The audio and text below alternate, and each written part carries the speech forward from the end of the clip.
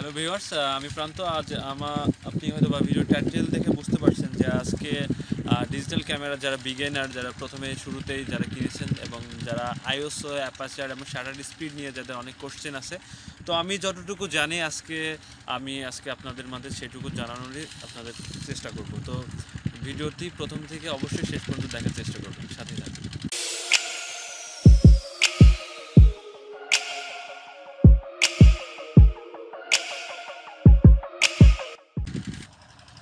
প্রথমে যদি আমি বলি আপনাদের shutter speed what is shutter speed shutter স্পিডটা হচ্ছে থাকে হচ্ছে ক্যামেরার ঠিক এইখানে যেটাতে বলা হয় বডির মধ্যে। তো আপনি, আমি যদি লেন্সটা খুলি তাহলে দেখতে পারব এখানে একটা শাটার স্পিড আছে। আপনি, আমি যদি আপনাকে বলি হচ্ছে বাস্তব ক্ষেত্রে একটা উদাহরণ সাপেক্ষে যদি বলতে পারি, আমাদের চোখের পাতা মনে করতে পারেন যে শাটার স্পিডের মতো একটা ধারণা করতে পারেন। আমরা চোখের পাতা যদি খুব দ্রুত এবং ফাস্ট নাড়াচাড়া করতে থাকি, তাহলে আমাদের আলো, যেমন সূর্যের আলোটা, আমি যদি চোখের পাতাটা খুব তাড়াতাড়ি বন্ধ করি, তাহলে সূর্যের আলো কিন্তু আমাদের ঢুকবে না। তেমন ক্যামেরারও ঠিক ওই রকম যে শাটার স্পিডটা আমি যত বাড়াবো মানে এক সেকেন্ডের সাথে তুলনা করা হয় বা এক বা এক দুশো পঞ্চাশ, একশো কুড়ি, চার হাজার। তো শাটার স্পিডটা আমরা যত বাড়াবো মানে এক বাই চার হাজার, তত শাটার স্পিডটার কাউন্ট ডাউন মানে শাটার স্পিডটা দ্রুত অফ হবে এবং অন হবে অফ হবে এবং অন হবে। তো ক্যামেরার মধ্যে যদি আমরা চলে যাই, দেখে, এখন আপনাদেরকে দেখাই যে শাটার স্পিডটা, তাহলে যদি দেখাই তো এখন যদি আমি আপনাদেরকে ক্যামেরার মধ্যে আসি, তাহলে দেখবেন যে যে ওপরে যে সেটিং আমি ম্যানুয়াল মোডে আছি, দেখেন যে ক্যামেরার অন মোডে এবং ম্যানুয়ালেতে আছি। তো ম্যানুয়ালে যখন ছবি উঠাবো আমরা, প্রথমে শাটার স্পিডটা ঠিক করে নিই। তো দেখেন এইখানে ক্লিক করার সাথে সাথে এই যে উপরে এইটা হচ্ছে শাটার স্পিড তো কাস্টমাইজ শাটার স্পিড এখন হচ্ছে ক্যামেরাটা যদি আমি আমার হচ্ছে অপটিক্যাল ভিউ ফাইন্ডারে চলে যাই, এর মধ্যে দেখে যদি চলে যাই তা আমি, এবার আমি আপনাদের শাটার স্পিডটা দেখানোর চেষ্টা করব। আপনি যখন অপটিক্যাল ভি ফাইন্ডারের মধ্যে যাবেন, আর আপনার শাটারের ওপর যে স্ক্রলটা আছে, চাকার মতো, ওইটা যদি আপনি ঘোরাতে থাকুন, দেখুন যে এখানে শাটার স্পিডটা বাড়তে থাকছে দুইশো, একশো ষাট। তো স্বাভাবিকভাবে সাধারণত শাটার স্পিড একশো, এক বা একশো পঁচিশ রাখে সবাই। তো আপনি আপনি অ্যাজ এ ফটোগ্রাফার হিসেবে আপনি ডিসাইড করবেন যে শাটার স্পিডটা আপনি কম রাখবেন কি বেশি রাখবেন, সেটা আপনি ডিসাইড করবেন। তো আপনি যদি তো আপনি যদি সূর্যের আলোর ছবি উঠাতে চান, তাহলে আপনাকে অবশ্যই শাটার স্পিডটা একদম কি করতে হবে? শাটার আলো যাতে সূর্যের আলোটা যাতে আপনার ক্যামেরায় খুব অল্প পরিমাণে প্রবেশ করে, খুব বেশি যদি প্রবেশ করে, তাহলে ছবিটা একদম সাদা হয়ে যাবে।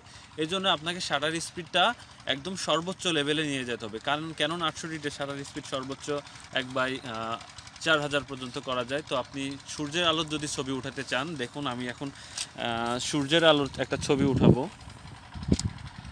তো আমি শাটার স্পিডটা এখান থেকে চার হাজার করে দিই। চার হাজার করে দিলাম। দেখুন, এবার হচ্ছে আমি একটা ছবি উঠাই।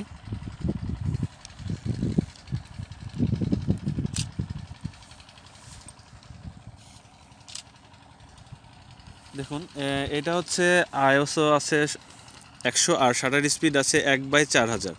এক বাই চার হাজার দিয়ে আমি হচ্ছে শাটার স্পিড এই পরিমাণ শাটার স্পিড দিয়ে এই ছবিটা উঠেছি। এবার দেখুন সেম শাটার স্পিড যদি আমি হচ্ছে কমাই দিই, সেক্ষেত্রে সূর্যের আলোটা ছবি কেমন হয় সেটাও আমি আপনাদেরকে দেখাচ্ছি। অবশ্যই এবার হচ্ছে সাদার পরিমাণ মানে আলোটা ছবিটা পিকচারটা একটু সাদা সাদা ভাব চলে আসবে, কারণ সূর্যের আলোটা বেশি ঢুকবে শাটারের মধ্যে। দেখুন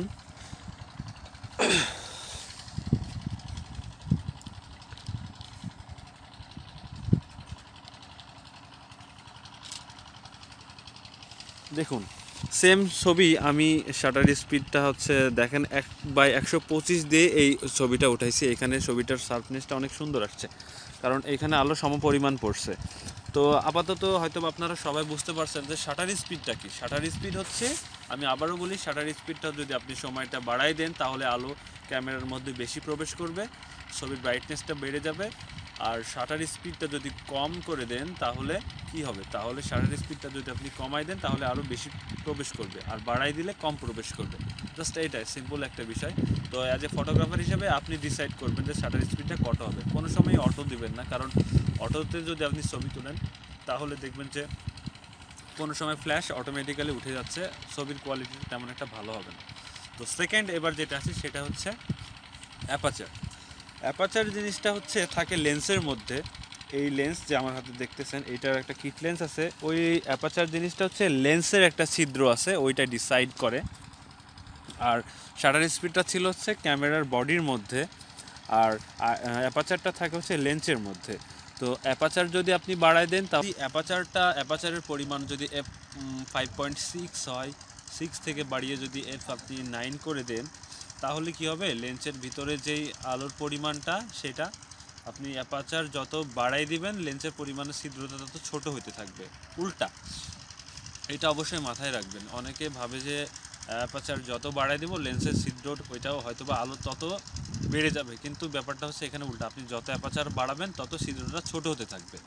আর অ্যাপাচার যত কমাবেন, তত ছিদ্রতা বড় হতে থাকবে। লেন্সের মধ্যে আলো প্রবেশের ক্ষমতাটা তত কমাইলে যত কমাবেন অ্যাপাচার তত ছিদ্রটা বড় হতে থাকবে এবং আলো বেশি পরিমাণে ঢুকবে।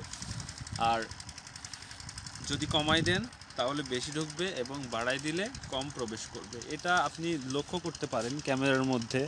ক্যামেরার মধ্যে যে ছিদ্রটা আছে, অ্যাপাচার আপনি কমাইলে বাড়াইলে লেন্সের মধ্যে যে সাদা একটা অংশ দেখছেন, এটা ছোট বড় হইতে থাকে। এটাই হচ্ছে মূলত অ্যাপাচার। তো আমি অ্যাপাচার প্রুভ করার জন্য আপনাদের আর কি প্র্যাকটিক্যাল একটা ছবি উঠাই দিই। অ্যাপাচার কমায় বাড়ায়। তো দেখুন আমি যদি এই ছবিটা অ্যাপাচার এখন ফাইভ আছে, আমি যদি এটাকে বাড়াই দিই অ্যাপাচার ষোলো করে দিই, তাহলে কি হচ্ছে? লেন্সের মধ্যে ছিদ্রটা ছোট হয়ে যাচ্ছে। এদিকে ক্যামেরার হয়তো ঠিক বোঝা যাচ্ছে না, আমি আপনাদের এদিকে বোঝাই। দেখুন, এখন দেখুন অ্যাপাচারটা আমি ষোলো করে দি, বাইশ করে দিচ্ছি এফ পয়েন্ট বাইশ। তাহলে কি বুঝতে পারছেন? দেখেন একদম অন্ধকার অন্ধকার লাগছে। তার মানে কি? অ্যাপাচার বাড়ায় দিচ্ছি লেন্সের মধ্যে যে ছিদ্রটা, ওইটা ছোট হয়ে গেছে। এবার যদি আমি একটা ছবি উঠাই, দেখেন সেই ছবিটা কি হবে? অন্ধকার, একদমই কালো। সেম আমি যদি অ্যাপাচারটা আবার একটু কমাই দিই, চার করে দিই বা ফাইভ পয়েন্ট সিক্স করে দিই, সেক্ষেত্রে দেখেন অ্যাপাচার কমতেছে, কিন্তু লেন্সের মধ্যে যেই ছিদ্রটা আছে, সেটা বেড়ে যাচ্ছে, আলো সমপরিমাণ ঢুকতেছে। এবার এই ছবিটা যদি উঠাই, তাহলে দেখেন পর্যাপ্ত পরিমাণ লাইটের প্রতিফলন আমরা দেখতে পাচ্ছি এখানে। এবার আমি আপনাদেরকে বলব যে আইএসও আইএসও জিনিসটা কি? আইএসও হচ্ছে একটা ক্যামেরার যে সেন্সর থাকে, আইএসটা, আইএসওটা বাড়ালে সেন্সরের সেন্সিটিভিটিটা বেড়ে যায়।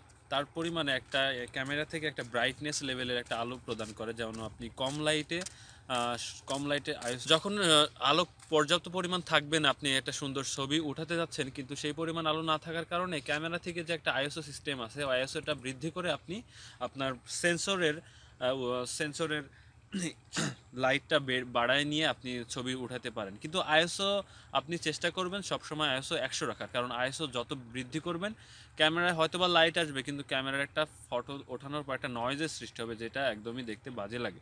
তো আমি প্র্যাকটিক্যালি দেখানোর চেষ্টা করি আইএসও বাড়াইলে আপনাদের কী ইফেক্ট পড়ে ছবির উপরে। ক্যামেরাটা অন করে নিই। অফ হয়ে গেছিল।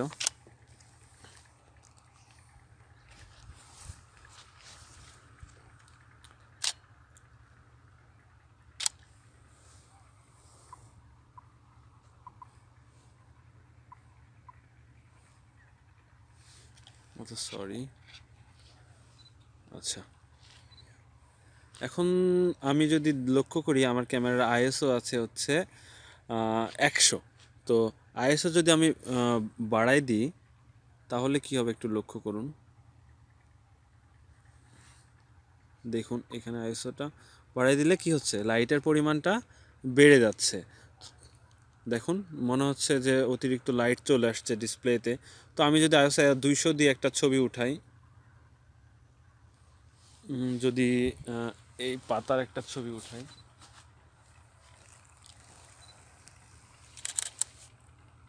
দেখুন ছবিটা কালো আসছে, কিন্তু ছবিটা যদি আমি জুম করি, তাহলে কি ছবিটার কোয়ালিটিটা ঠিক আছে, একদম সুন্দর কোয়ালিটি আছে। কিন্তু আমি এই ছবিটারে যদি আইএসও বাড়াই দিই ষোলোশো করে দিয়ে ছবি উঠাই। তো দেখুন, ছবিটা যদি আমি জুম করি, একটা নয়েজের ছবিটাতে একটা নয়েজের এই যে ধূসর রঙের একটা ছাপ আসছে, এটাই হচ্ছে আইএসওর ব্যাড ইফেক্ট তো যখনই প্রয়োজন, যদি প্রয়োজন হয়ে যায়, কারণ এখন আমার আইএসওর প্রয়োজন হচ্ছে, আমি যদি আইএসও কমাই দিই, একদম একদম দেখেন অন্ধকার অন্ধকার ভাব লাগছে।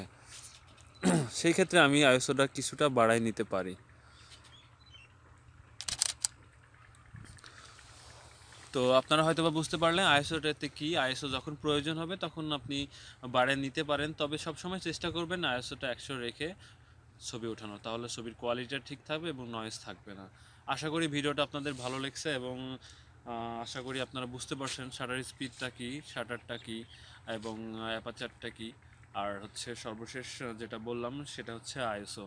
তো এরপরেও যদি আপনাদের কোনো কোশ্চিন থেকে থাকে আপনি অবশ্যই ভিডিও ডিসক্রিপশনে কমেন্ট করবেন, আমাকে জানাবেন। আমি অবশ্যই আপনাদেরকে উত্তর দেওয়ার চেষ্টা করব। আর ভিডিওটি ধৈর্য সহকারে দেখার জন্য আপনাদেরকে অনেক ধন্যবাদ আপনার মূল্যবান মূল্যবান সময় থেকে আমাকে কিছু সময়টা দেওয়ার জন্য। আশা করি ভালো থাকবেন। আল্লাহ হাফেজ।